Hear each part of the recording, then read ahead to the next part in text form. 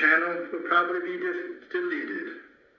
So I urge you, please save, download, and re-upload everything that I release for freedom of information's sake. God bless you. Thank you for listening, and God bless you all.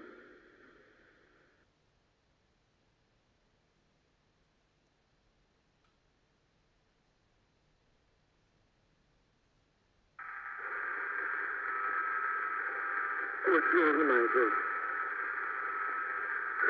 know if I should tell you, but I don't know.